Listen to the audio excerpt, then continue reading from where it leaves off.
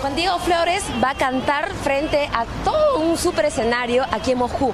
Vamos a darle esta bandera peruana para que él con mucho orgullo pueda mostrarla al mundo y sepan que los peruanos llegamos y muy lejos. Vamos. Recibe con amor y orgullo la bandera peruana, que mostrará en la gala de apertura de la Copa del Mundo. Juan Diego Flores, nuestro tenor y mayor orgullo, recibió en Moscú a nuestra compañera Mari Calistro, con quien habló a pocas horas del concierto que ofrecerá. Vamos a través de la ventana, Juan Diego, el hecho de la barra peruana que está que grita todo pulmón. ¿Cómo te sientes aquí? Exacto, esa cornetita es peruana, se reconoce. Yo me siento muy contento, muy emocionado estar aquí justamente donde están todos los hinchas de todos los equipos y los únicos que se escuchan son los peruanos. Dicen que hay 35 mil peruanos eh, y se sienten. Yo estoy contento de inaugurar el, Mundial eh, hoy día en la Plaza Roja. Contento de estar aquí porque es un evento para nosotros después de 36 años estar en, en un Mundial. Estamos todos unidos y nos da alegría, nos devuelve un poco después de tantos problemas que hemos tenido, el niño costero, las situaciones económicas que hemos tenido, eh, políticas también, eh, nos devuelve un poco la alegría, nos da fe. Su voz se impondrá con una emotiva letra que precisamente habla del significado de ser hincha. El único no ruso con Plácido Domingo y voy a cantar una canción, un aria que es muy significativa, se llama Ames a mí y es el área de los famosos 9-2 de pecho que habla de ser hincha de un equipo que habla de, de, llevar una bandera, de empuñar una bandera. Entonces tiene mucho que ver y quizás voy a sacar la bandera al final.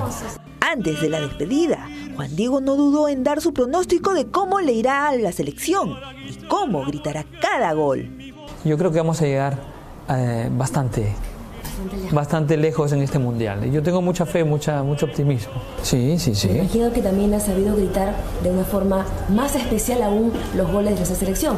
A tu modo, como tenor lírico, ¿cómo nos gritarías un gol, por favor? ¡Gol!